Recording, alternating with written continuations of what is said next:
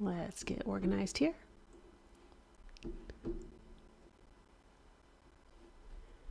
All right. So it is Tuesday. It is November the 10th. This is basic math. I can do this. And uh, yeah, so we're back on the regular, regularly scheduled program. Last week was a little bit different because I did the all day charity live stream, which was amazing. I actually had a good time.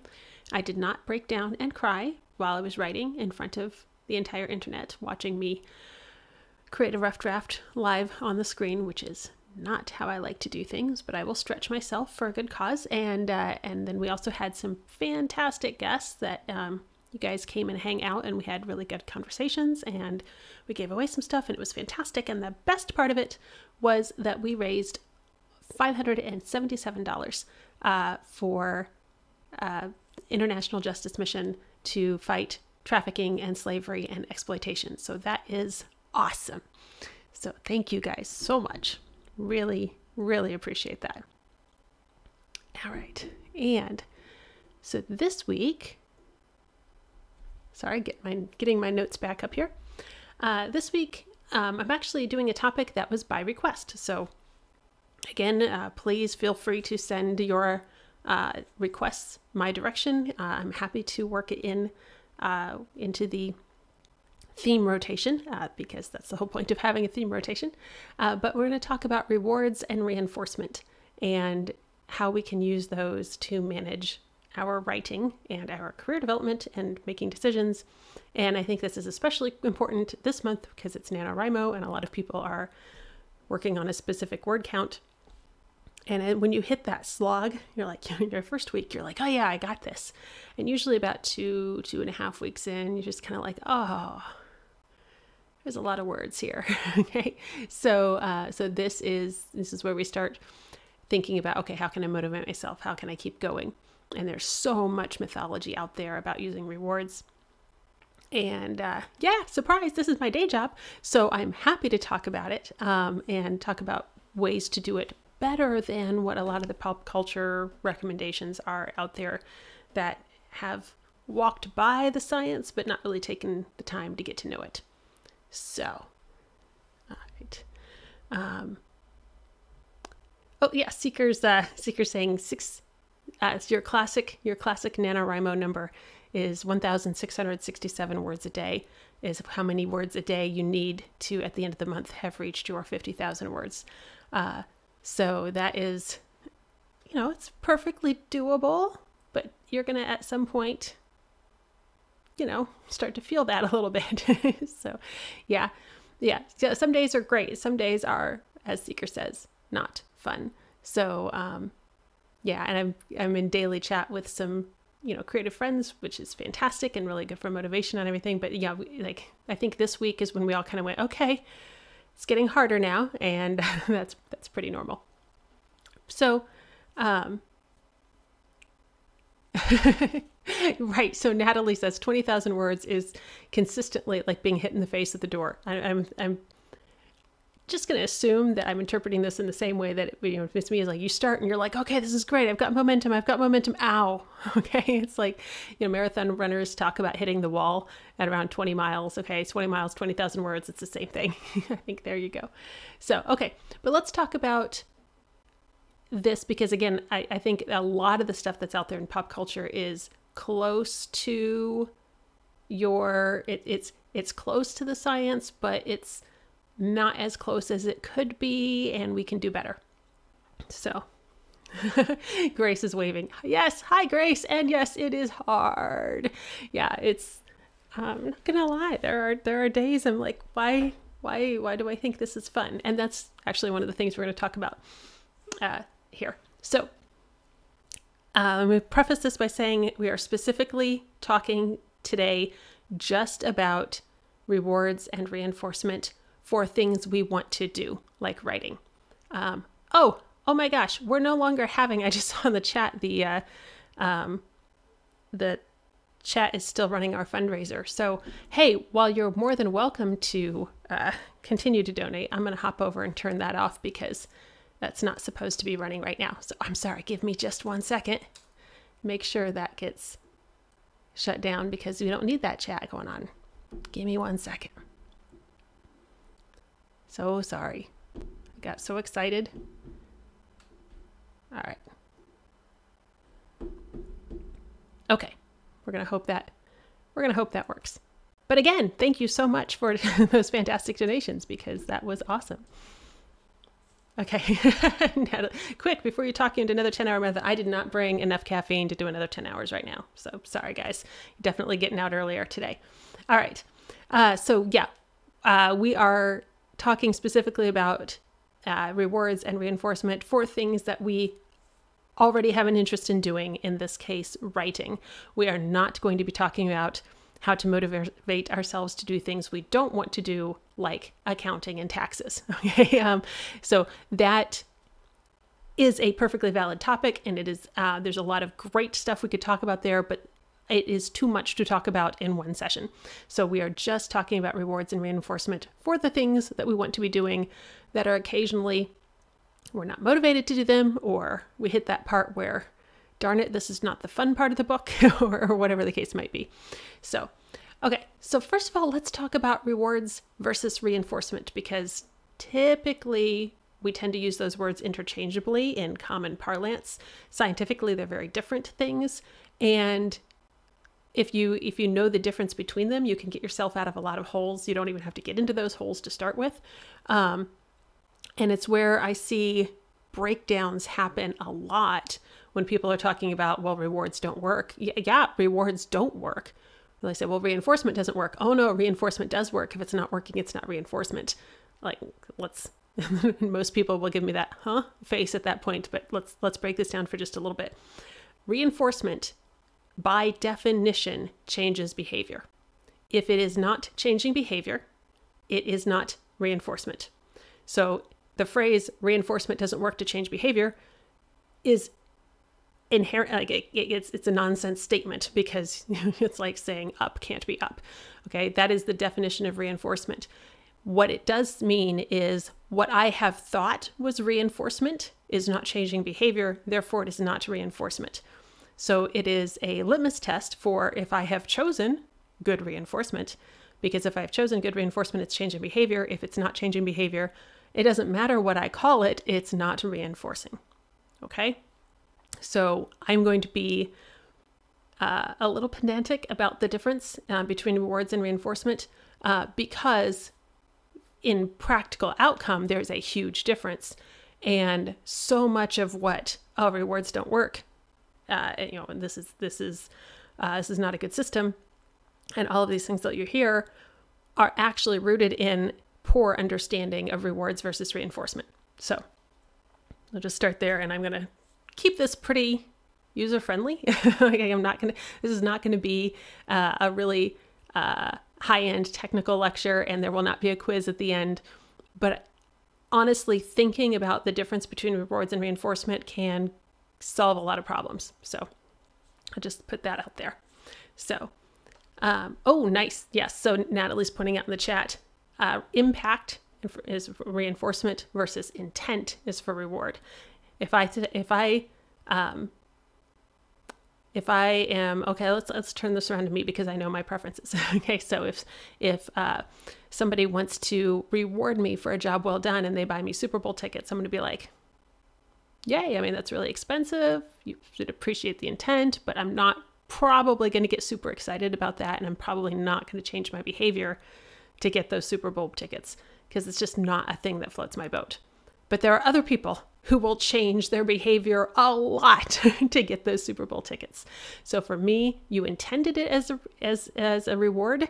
That's nice. I can maybe even recognize that intent, but it didn't actually motivate a behavior change in me, so it's not reinforcing. So if that if that makes sense, great. If it doesn't, forget that example. Just go with the actual definitions. Yeah, and Natalie's like, but if you pay for my dog sports entry fees, yeah. So if I, if I take that that uh, Super Bowl ticket and I exchange it for cash on my local street corner. now I have something that is more reinforcing because I can apply it toward things that I actually do find uh, more motivating. So, okay. Um, anyway, wh- where all this is going is because there is a tremendous amount of very confusing um, pop culture science out there on why rewards and positive reinforcement don't work. Um, one of the ones that I hear about a lot, fortunately less commonly today, but it was really big a few years ago, is Alfie Kohn's book, Punished by Rewards, which is an entire book on why reinforcement is a terrible idea and why it doesn't work. As a professional, I read his book and I'm like, this is just a series of case studies and incredibly poorly done reinforcement. like, like, um, like, if you talked to anybody in behaviorism for less than 10 minutes like we could have solved all of this. But but then you wouldn't have gotten a whole book out of it. So i guess i see the, the motivation there. Um, and it's what's great is at the end of the book he talks about okay so we know rewards don't work. We know positive reinforcement doesn't work. What does work? Well what if you let the people if you let the learners choose something that's important to them and then they can they can have that when they do well um, but but and they're choosing what what actually matters to them. I'm looking i'm holding this book like in this last chapter and i'm like yes. Like good. That's page one of how to reinforce. Uh, so, like he he made an entire career out of misunderstanding how behavior works and then recommending what behavior people do. So, anyway, all of that is what I'm trying to say is that because there's so much out there, and I've seen so many people reference that book or reference other things that do that book, uh, or that, that that use that book or or like that, and um, and it's just it just bogs the whole thing down so what the short version is when you see okay you're a writer um, you're working on your nano you're getting your word count. Here are suggested rewards to use as you work through your calendar. It is just that. They are suggested rewards okay? They are not necessarily reinforcing. Quite a lot of those suggested rewards would actually slow down my own progress. Um, so please, please, please, like we're gonna we're gonna walk through how to do this properly. so I'm sorry, I'm really like trying to hold back and not just go off on my on my technical soapbox here, but I I want this to be very um, very uh, user friendly. But darn it, like these are these are basic things that, that frustrate me when I see them confused. So one of the big problems that uh, that we get into trouble with when we're trying to use rewards in this kind of situation is the problem of intrinsic versus external uh, reinforcement. And so if it's uh, intrinsic reinforcement, it's internal reinforcement, I'm enjoying doing it. That enjoyment is the reinforcement for doing this activity. And that's ideal. If you can get that, like, problem solved. like, okay, so um, if you are a runner, and you hit that runner's high and it feels good and you keep going, great. I don't know what that's like, but I'm told it exists. Okay, so, um, so that's it. When I'm writing and when I'm in the flow and it, everything, the words are just coming, and I like the story and everything's working well. That, that is its own reward, right? That is its own reinforcement. That's going to keep me going because it is inherently reinforcing. Unfortunately, not all of life is inherently reinforcing, and not even all of writing is inherently reinforcing. Um, but it's important to know the difference. Now, let me start with this. If you don't get intrinsic reinforcement, if you don't if you don't get that internal satisfaction from writing, why are you doing it? And I'll just throw that out there. Like there's a lot of There's a lot of people who write because they feel like they should write. And that's okay. You know what? There's a lot of hobbies. There are a lot of hobbies that you can get better results with faster returns on your time and be less frustrated. So if you truly don't enjoy writing, don't write. Okay? I mean, probably if you're watching this video or, hanging out on this podcast or, or whatever, um, you know, you're your your name is probably not Stephen King, and so you you can probably uh, have another profession other than writing. And so, if you don't enjoy it, don't do it. Okay, like art is supposed to be good for you. so, um, yes. So Grace is. Grace has got where I'm there. As she says, I enjoy having written. That is actually the quote um, from which the name of this show, I guess technically, to write and have written comes from. Um, and which and I, oh darn it, I'm not prepared for the quiz. I don't remember who said it, but um, I don't enjoy writing, but I enjoy having written. Okay, that's where most of us are. Um, but I enjoy having written is still getting enjoyment out of the process, and I know that at some point you do hit that flow where it's awesome. Okay, and maybe you're not there today. I feel that. Okay, but um, but at some point there is that flow.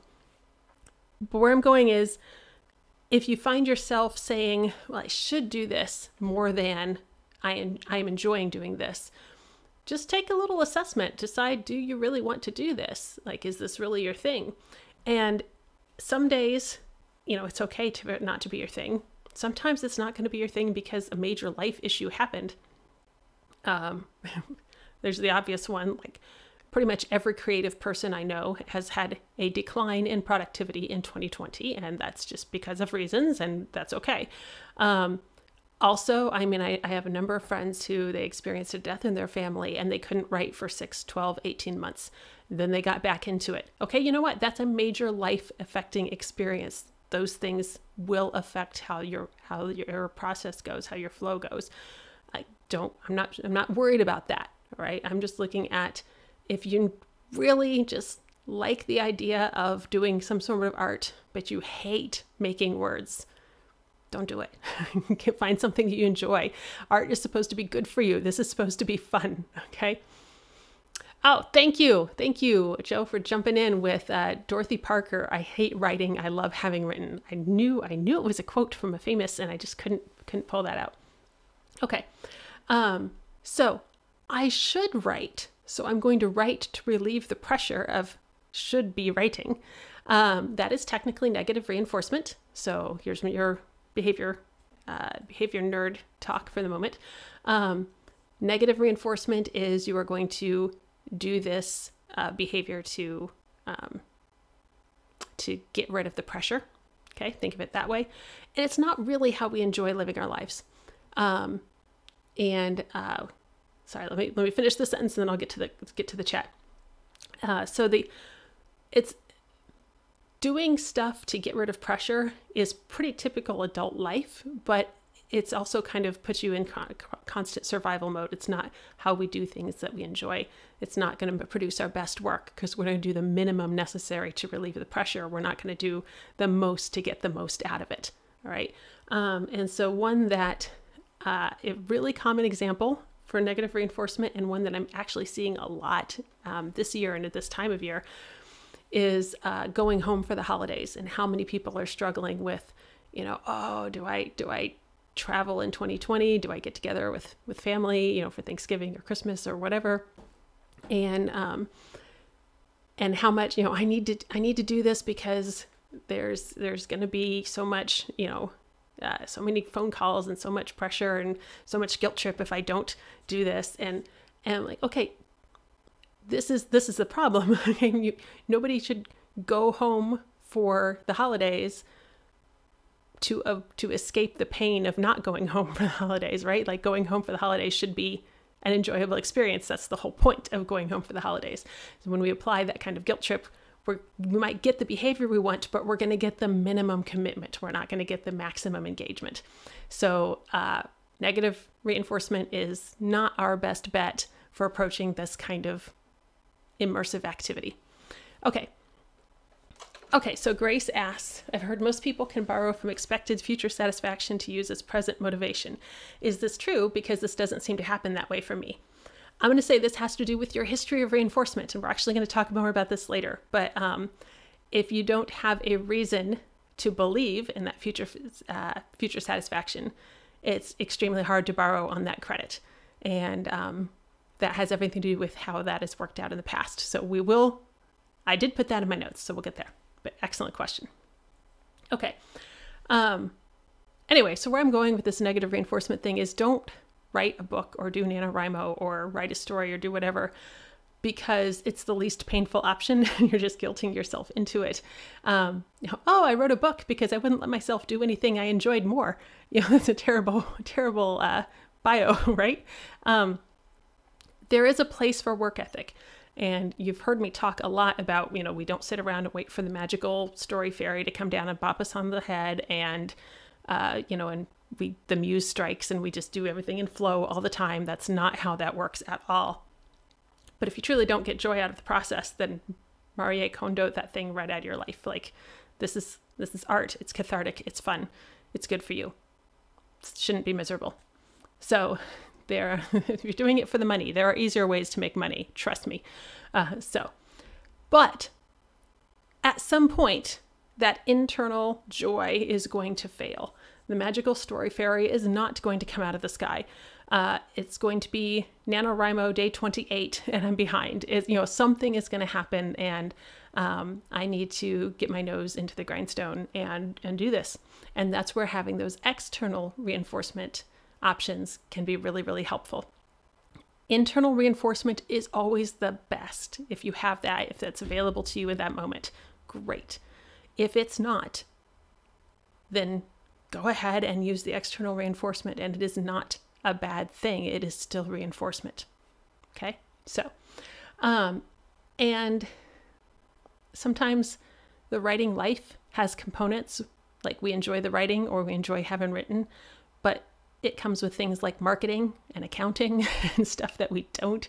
Like, I do not wake up in the morning and be like, ah, oh, I want to get a spreadsheet and do some ads. Like, that never has happened. I don't expect it will happen anytime soon. Um, so that doesn't, but external reinforcement can be super powerful to push you through. So we talked when we did the NaNoWriMo talk uh, a few weeks ago, and we talked about the value of having that cute little graph that goes up every day and shows you with dots and bars and pictures how awesome you're doing.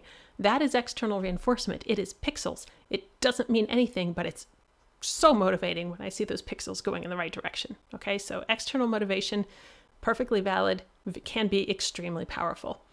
So, okay, so this is where we're going to get into finally, with all of that lead up, finally get into the how do we do it thing.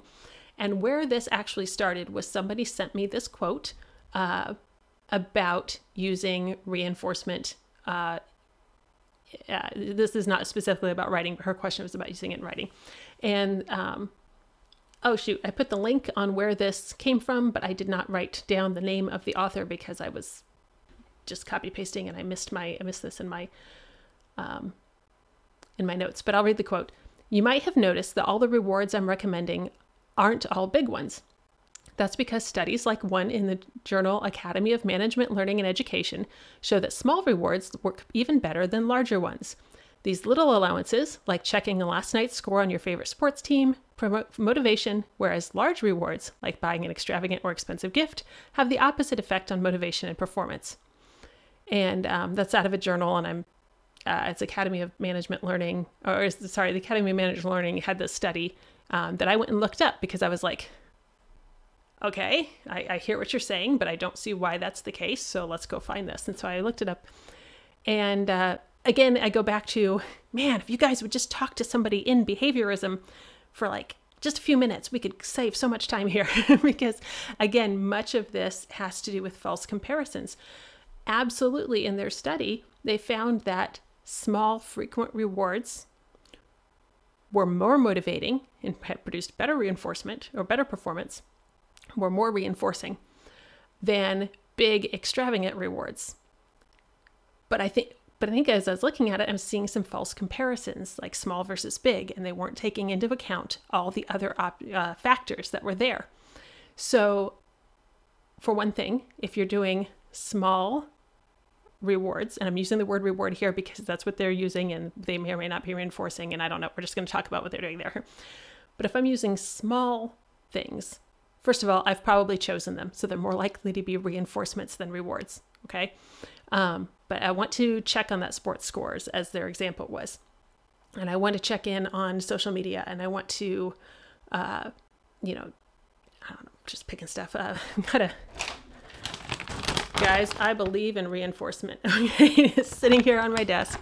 Um, and so when I get done with this paragraph, I'm going to have a peanut butter M&M or you know whatever the case may be. Those are all things that are going to happen fairly frequently. Okay, I'm going to finish this paragraph and have an M&M. I'm going to finish this page and check on social media. I'm going to, you know, whatever the case may be. The large rewards if they're talking about an extravagant and expensive reward, those are not going to happen very often. That's a finish the book, get yourself, you know, the thing, whatever. And so we're not looking at small versus large here. We're also looking at a very, very different rate of reinforcement or how often that's coming in.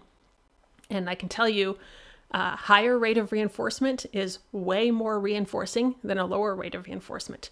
Uh, 30 small things is so much better for reinforcement than one big one because you can build momentum and all kinds of things. So the way I tell my clients this is five pennies is worth more than a nickel. Okay. Yes, technically they're the same buying power, but five pennies. okay, so much better than a nickel. So, uh, so that's one thing. Um, they also don't address competing motivations. So let's say that I'm going to finish my page and have some uh, peanut butter M&Ms, and I have nothing there except uh, the guilt about the sugar and and I'll deal with that later. That's future Laura's problem. Okay, so I get that. Or if I have a big expensive reward, I'm going to finish this uh, book and I'm going to buy myself a new TV. Okay, I'm just making stuff up here. Okay, a new TV is a significantly different process than eating some M&Ms and it's going to cost significantly more than those M&Ms and I now have to think okay I'm going to buy this TV I earned this TV but it's expensive and I'm uncomfortable spending that much money and those things are going to play into the motivation just as much so it's not purely a M&Ms versus TV comparison there's um, uh, other factors There's, you know there's other costs to that uh, reward uh, and so there's other costs then to my behavior. And Natalie just said what my next point was. She said they're usually delayed after you earn them. Small ones are immediately accessible. I think my next thing was timely delivery. Okay, I finished this page. I get those M&Ms now. They're on my desk right now. Versus I finished that book. I think about the TV. I finally convince myself to do it. I buy it. It arrives a week later. You know, whatever. So, um, you know, so those are um, hugely different when we talk about timeliness in reinforcement uh, delivery. Half a second, it can be a very significant factor in how much that influences behavior. So, yeah, put in the weeks difference. That's a lot of half seconds. okay, so it's going to make a very big difference in how reinforcing it is. Is it a reward? Probably. Is it reinforcement? I don't know. Okay, harder to say. And um, so, where I want to pull out some things to uh, to consider here. So there's the 300 peck uh, phenomenon that when researchers were first studying, and it's called 300 pecks because they were using uh, pigeons, and they would put the pigeons in basically a Skinner box. Um, so the pigeon has a button or a lever, and it's got a little feeder, and we start with peck the button, get a piece of grain. Peck the button, get a piece of grain. Now you have to peck the button twice get a piece of grain. Peck the button three times to get a piece of grain. And you can see where this is going. And they wanted to see can you teach a pigeon to peck 300 times for a piece of grain? The answer is yes. Okay, it absolutely happens. It happens for several reasons, and it happens with several um, several pieces of fallout, which are very significant for us applying this in our own lives. Um, the first is the pigeon, it's very important to note, the pigeon is in a Skinner box. The pigeon has does not have access to Netflix. The pigeon does not have access to social media. The pigeon does not have access to other books to read. The pigeon is staring at blank walls and a button. And so finally, it's going to peck the button because there's nothing else to do. Whereas if we ask ourselves, I want to peck 300 times before I get any kind of reinforcement, we do have all those other options and those other sources of reinforcement that we're probably going to go uh, invest our time and energy in something that pays out much sooner. So that's an important feature to remember. The other thing is they found out that even in that Skinner box, when researchers did this, the once the pigeon started pecking, it would just and get those 300 pecks, you know, just go very, very steadily until it finally got to its reinforcement. That was fine. But the delays, you know, if you're doing peck, treat, peck, treat, peck, treat, you're pretty like a little piston, okay? Your loop's pretty clean there. But when you're doing 300 pecks, you'd get your get your grain and you would do anything to put off starting that again. We had all kinds of pigeon procrastination going on. And that's when the pigeons did not have Netflix. okay. So you all absolutely uh, see that kind of delay and putting off because it's just so much work to get that single reinforcement um, again. And because it's not about the size, it doesn't matter if they put, make it a big reinforcer either. It's about the rate of reinforcement. The rate of reinforcement is really, really, really important to building that steady, reliable behavior. So, um, if you if you finally, finally knuckle down, I think this is where you see people procrastinate, procrastinate, procrastinate, and then they get started and they just plow through until they hit the deadline or the the end of the project or whatever. And I think some of that is probably coming out of that. Um, a lot of that is being driven because one, you're just seeing negative reinforcement. Okay, I'm going to do it to relieve the pressure, um, and that they weren't getting inherently reinforced for the project itself. And then two, because all the reinforcement just comes at the end, that's when the pressure is relieved. Okay, so they put off the, the thing until they just can't anymore and then work through till they get to the end. And then they're not going to start the next thing until they can't put it off anymore. Natalie's in the chat. Today i learned i am a pigeon. Yes okay. There is so much good and so much embarrassment that comes out of behavior. Yeah. Okay. Um a friend told me that she has a hard time using reinforcement for herself when she's working on a project because she says i'll think okay i, I want i'll buy myself this album or you know whatever the case may be um, when i get x done but then i just buy it anyway so i don't have to work toward it. And um, so I, I, I laughed at the time and i'm like you kind of have to be the adult in the in the room okay? Like there's nobody to adult for you. You have to do that for you. But that actually ties into this as well. Um, that what that's telling me several things. If I were to look at that from a training perspective, um, you know, okay, let's analyze what's actually going on behaviorally here. She's her she's telling me that her rate of reinforcement is way too low. Okay, she's not she doesn't have any faith that she will get the reinforcement by working for it. She's going to have to work too long to get the thing that she wants. So she's going to try to short circuit the system. Um, and she's telling me that her reliability, her history of reinforcement is suspect. Um, and my guess is there's somewhere, oh, you'll get, you know, you'll get this, or I'll get this for myself. This is, doesn't mean somebody else did this to you. We do this to ourselves all the freaking time, which is, oh, I'll do this and then I'll get that. Well, now it's time to get that, but okay, and we cheat, and then later we don't believe ourselves and so we cheat. okay, so um, we've got nobody to blame but ourselves for that. Um, so I'm going to talk about this because, again, I see this happen a lot. In um, I catch myself doing it to myself, which I should know better, and I see it in my friends all the time. I'm just going to say, be an honest banker. If you promise yourself, you know, if you get to this point, you will get X. Then when you get to that point, you should get X. Okay. And I don't care if, uh, I don't care if you want to raise the bar, if you want to move, if you want to move the finish line. Don't lie to yourself. Okay. Um, don't downplay an achievement if you actually worked toward it. Okay. Oh wow, I I'm just, I'm gonna do this when I get 2,000 words today. I'm gonna you know this will be great. Well, I got to 2,000 words. Okay, you know what? That's not really a lot. Like other people do that all the time. So I probably should get to 3,000 before. No, no, that's cheating. okay, that is lying to yourself. That's being a jerk. Uh, would you do that to your friend? Would you yank? Would you yank the rug out? Would you move the finish line for your friend? Then do not do that to yourself because what you're doing there is you're creating that distrust in your own reinforcement system, and you're ruining your own reinforcement history, and that's going to come back for you. Um, and I have a friend who I will speak about very obliquely because I did not ask her if I could share her story, but this, if I, I'm not going to identify her. But she did a huge, amazing thing, a massive project. Took more than a year to finish this this awesome thing, and um, she got done and she's like, hooray, this is awesome, but I'm not really counting it done until X happens. You know, we wrap, we wrap it and, and this happens. I'm like, okay, that's cool. That makes sense because that's going to be like the final, you know, the, the cherry on the top that'll, you know, signify the official closure of this project. Great. And then the X happened and she's like, okay, yeah, yeah, that was cool. But, but really Y needs to happen before. Okay. All right. Why? Why? Good is good thing.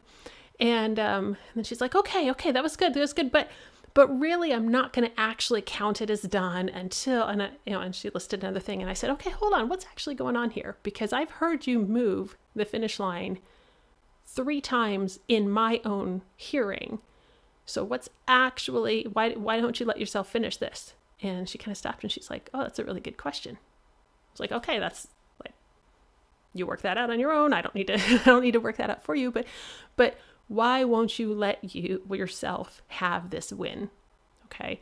So, and I know, I absolutely know that she would not have yanked the finish line out from under me, right? So don't do that to your yourself either. Let yourself believe in your own reliability. Okay. Be a be a be an honest banker. Here we go. So um yeah, so I think if you're if you're unable to hold out for the reinforcement. There might be several things going on there, but one of them is definitely make sure that your reinforcement is coming frequently enough that you believe you can reach it, and make sure that you aren't in the habit of taking away from yourself once you've actually earned it. So that's all that I can address over the internet. so, okay. Um, so let's do, okay, rate of reinforcement I mentioned earlier is, you know, how often are those reinforcers actually coming, not necessarily rewards, but actual reinforcers. How often are they coming for your behavior? If you are getting, if you're in that flow, and if you're getting that internal reinforcement at the time, you are constantly being reinforced because you're in the, you're in the zone and it's awesome. And rate of reinforcement takes care of itself. Another reason why it is so awesome to be in flow. Um, if you're relying on external reinforcement, you actually have to think about how often your rate of reinforcement, you know, how often your reinforcement is coming. You have to think about that rate of reinforcement. If you are in the flow, do not interrupt the flow to impose external reinforcement. And this is something that, again, I think probably um, was part of the problem. If we go back to Kohn's book and he's describing, um, oh gosh, it's been forever since I read it, but he was describing um, trying to teach kids to prefer certain kinds of markers. So when they would draw with certain kinds of markers, uh, the researchers would, you know, give the kids, you know, stickers or external uh, rewards. Um, but then ultimately the kids actually preferred another kind of marker. I'm like, um, of course, like reading this is like this is so obvious to me. You know, I'm a kid, I'm having great time drawing a picture, and you keep stopping me drawing my picture to give me stuff that's not related to my picture. But when I draw these other set of markers, you leave me alone and I get to do the thing that I wanted to do. Like, ob- this is obvious, right? Like, don't interrupt the flow. That's, we call that punishment. All right. So um, if you've got that internal reinforcement going, just, just wallow in it and glory in it. And that's fine. That's there. But when you need that external reinforcement, by all means give it to yourself, okay? Because nobody should have to do taxes without some form of reinforcement. I'm not even kidding. I put on my really good motivating music and I get my chocolate, and that's how I do my accounting. Um, which actually, uh, December 1st, make sure you're here because we're going to have Chris Morris, who is fantastic, here to help us with our accounting. And um, bring your chocolate it's fine. And but chris is great and i asked him months ago to come and do this in december with us. So please uh, please be here for that. So um, but when you need that external reinforcement make sure that you do give yourself a fairly high rate. Now how quickly that needs to come how often you need to get that what those intervals need to be that's incredibly subjective and if it's dealing with making ads or if it's you know, working out my taxes, those need to come pretty darn fast. And if it's something like um, I really need to get this uh, this visual ad designed, or I need to write back cover copy, those you know, that's those are things I enjoy more. I'm going to get you know, further without having to wrestle with the chocolate bar. So, um, just that's one of those know yourself. That's the difference between rewards and reinforcement. Know what actually changes your behavior and do it at the interval that you need. Okay. So yeah, you, what this all comes down to is you need to be aware of what is reinforcing to you at that time. That can completely change from week to week, from day to day, from minute to minute. And so you just need to be aware of what is reinforcing at that time. And if you're thinking, wow, like Laura, you say this stuff is really simple, but it sounds really complicated. Yes, it is really simple and really complicated. And that's why people like me have a job. So it's great. Um, so, okay. Um, so when I say, uh, I mentioned earlier, a lot of times you'll get into uh, writing sites or NaNoWriMo inspirational uh, talks or whatever, and they'll give a list of suggestions for uh, reinforcement, for positive reinforcement. They usually call them rewards, whatever. I'm going to say, okay, now here's my, instead of this list of, reinfor- list of rewards, suggested rewards, I'm going to say, here's my list of suggestions for positive reinforcement. First item on the list, it's literally anything. Okay. I'm going to modify that a little bit. That is legal and safe. Okay. Don't get in trouble and make me your excuse. But if um, it, it can be anything that motivates you to do the thing, it can be anything that helps you to change your behavior. So don't limit yourself to the traditional, you know, oh, I'll get to the end of the chapter and I'll buy myself a new album, or I'll get to the end of the book and I'll, you know, buy myself a new outfit or you know whatever stuff that I, I see listed. Um, these can be little things. These can be very tiny things that happen a lot. And um, you know, okay, I'm going to finish this paragraph and I'm going to put on my favorite song. Like small things. It's totally fine. Uh, positive reinforcement is incredibly personal. It's incredibly variable. It will change from moment to moment, and that is fine. Make sure you give yourself, oh, hello, dog. make sure you give yourself um, both small and larger reinforcers. Uh, just make sure that your smaller ones are coming frequently enough to be useful. Um, and then if you want to use some larger ones to celebrate, more power to you. There's nothing wrong with larger ones. The problem is only using large ones spaced out. Just so again, my my my underscore here is going to be keep the rate of reinforcement high. Rate of reinforcement is your big thing to look at um, as you're working on this. So, okay. Um, if you remember a few months back, and I'll let you, if anybody has questions or comments to throw in the chat, now is the time. But I'm going to give you the sneak preview now. Um, if you remember how um, some time back we had marketing homework um, back before November, so like three years ago in 2020 time, um, then uh, and so we, had uh, several several layers of marketing homework that we worked through. Next week we're going to take that and we're going to put it into spreadsheets. So um, writers traditionally um, spreadsheets are a uh, are an enemy. Like in if this were a uh, an RPG, that would be like a, an enemy class. Um, so writers really just we don't do spreadsheets. We just we don't do spreadsheets. But spreadsheets can actually be incredibly helpful as we're arranging our marketing. They're super nice for things like accounting and taxes and working out your ads and all sorts of things. And we probably want to be at least passingly familiar with spreadsheets before we see Chris uh, about accounting in December. So next week, um, our very own Seeker is going to be our guest here and walking us through spreadsheets and how you, as a writer who works with words, can meet a spreadsheet and still come out on the other side. So, okay, and now I'm going to check the chat here. One second. Oh, okay. This is a good question. Hold on. Okay. So the question is um, advice on how to transition from reinforcement back to the next loop of work. Novelty seeking is really reinforcing for me, so I use social media or forum checking a lot and will work for it. Uh, you know, congratulations, we'll get you a membership card and a t shirt. I think that's all of us. Um, but then I struggle to transition back. I can use a timer, but the task interruption at the end feels intensely aversive and that builds frustration quickly. But I wasn't done. I feel that. So is that should that be saved for an end of session reinforcement? So this is um, this is a really good, really really good question because um, well, this is me too. so here's what I do. Um, like if I go to give myself a social media break, which um, has been has been interesting this year because uh, you're kind of taking a kind of taking a chance on it. Am is this going to be reinforcing or is this going to be very punishing when I get there?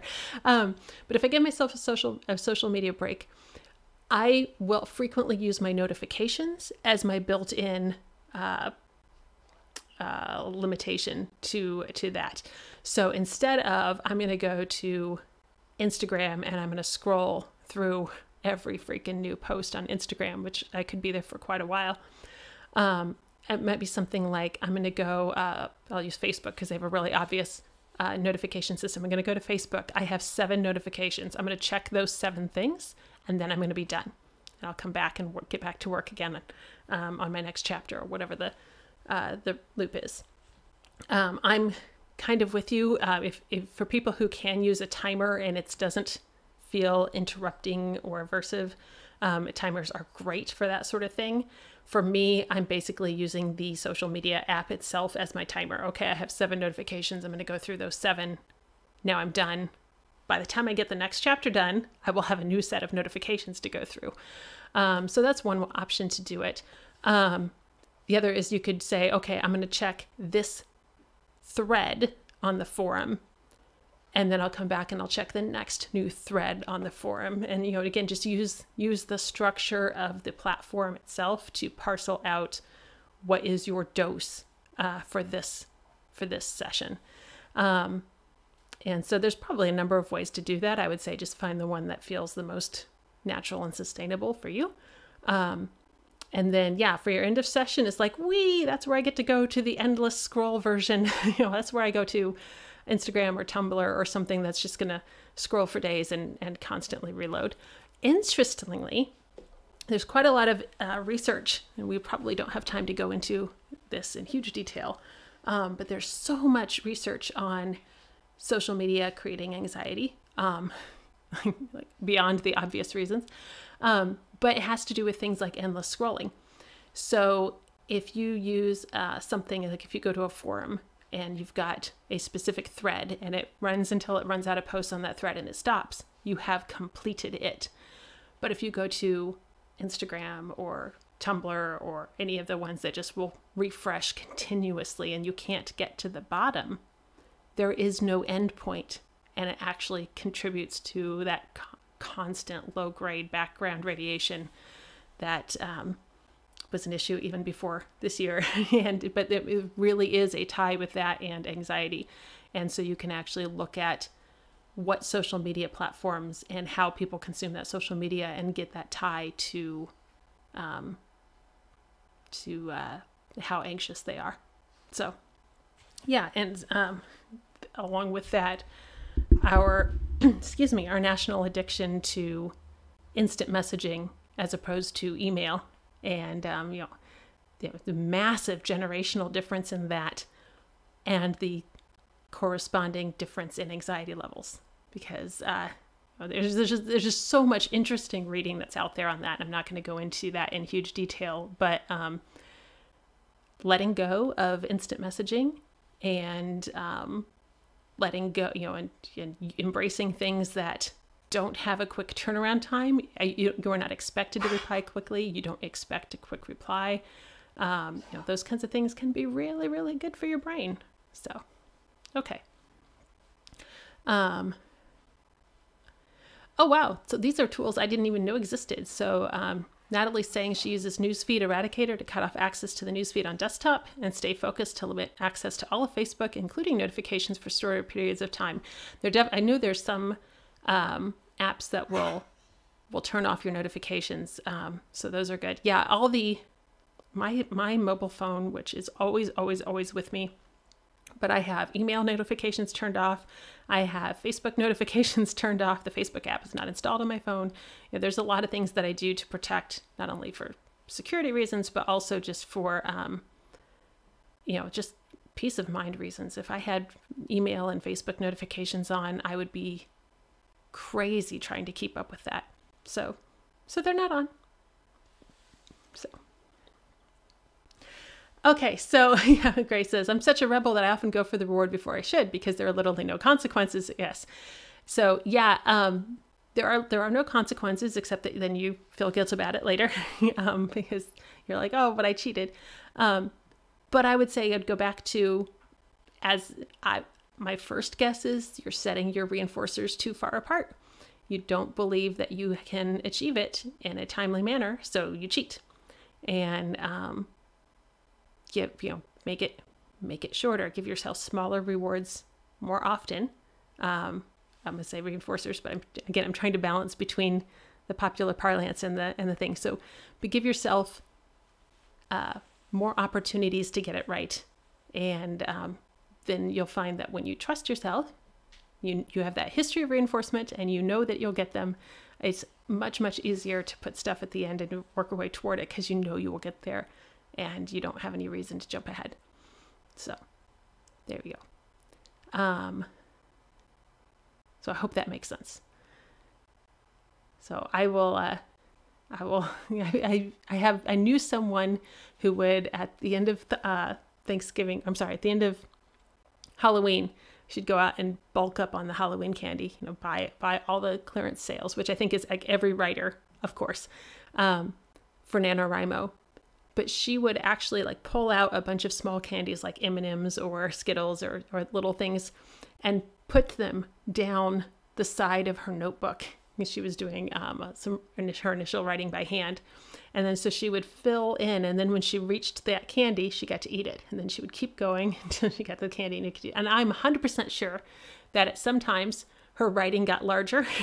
like that is, I'm sure that happened, but it didn't matter. She still got to that point right? So, and they were all lined up. She could see them right there. She just had to keep going to them. And um, you know what? That's not a bad system. You know, if it works, it's great. And um, so find find the one that works for you. And I would say just most people, um, because we as a society are so conditioned to thinking about rewards instead of reinforcement, um, we tend to put things too far out and we're also, as a society, incredibly good at moving the finish line. Um, and I know so many friends who will be like, okay, yes, I did this thing. Well, now I shouldn't be proud of the thing, and I probably need to do something else before I can. No, no, no, you did the thing, okay? Treat yourself like you would treat your friend. So, okay. Um, Grace says she doesn't trust herself. Uh, so, put the candy down the down the down the notebook side or whatever it is that you're doing, and then take tape, little cello tape, and put it over the top of them so you can't can't just grab them as they go. You have to consciously make a decision. Honestly, a lot of it is about making making conscious decisions. My bag of M and M's has been on um, here on this desk um, for several days, but I realized I was hitting them a little bit too hard. Um, so I moved the bag to the far side of the desk. Still here. I can still have it when I want it. But because I can't grab it mindlessly, because I have to make a conscious decision to reach for it, I was like, stop. Okay. Is this a decision? Which decision do I want to make? I don't, it's fine. I can decide either direction. I just have to make a decision rather than mindlessly grabbing. And, um, and that was enough that I hadn't had M&Ms for several days. And then I'm going to hit them again real darn hard tonight. So that's how that goes. Okay. Yay. Um,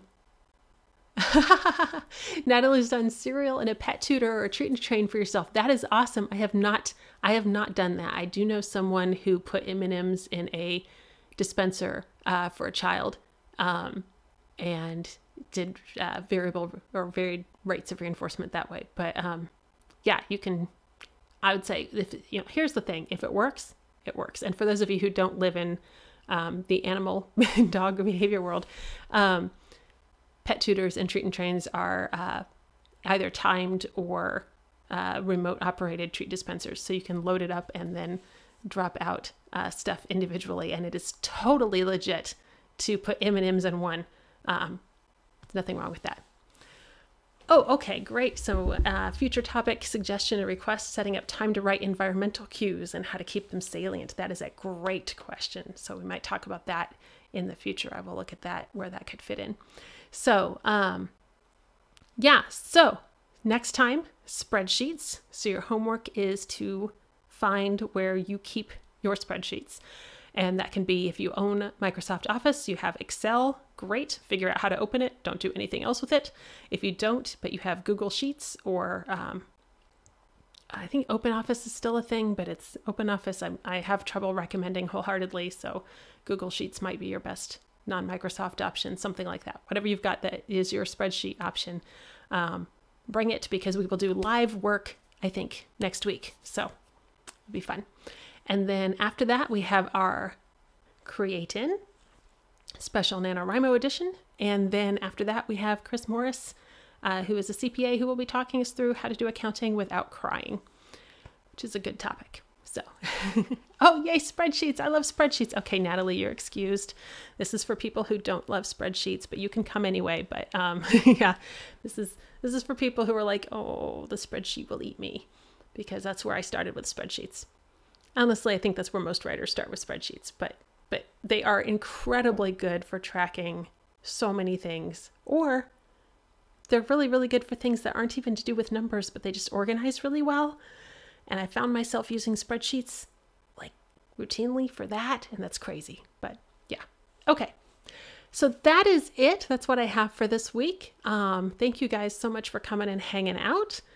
And yeah, feel absolutely free to send me more ideas. Um, and oh, also specifically, I'm going to say for the Learn with Me's, um, tell me what you guys want to learn about. You know, tell me, you know, help me, help me to track down the things that you're interested in. I want to find experts that are actually useful to you guys. So Yes. yes. So, yeah, Natalie's like, it has lines that say you did the thing, upward green light. It does great jobs at making beautiful, motivating graphs. This is so true. So true. And I will do so many things for a motivating graph. So, yeah. Um, but then also, they're really good for like, oh, I have all these words I need to write down and keep track of, and I can draw lots of columns or keep rewriting them, or I can throw them in a spreadsheet and make them all magically do it themselves. It's great. Okay. Okay, so that is it. Thank you guys a, a lot. Um, thank you guys a much. That was me. Yeah, that was good. I, I, I word. I word professionally. So um, that is what I've got, and I will see you all next Tuesday for spreadsheets. Take care.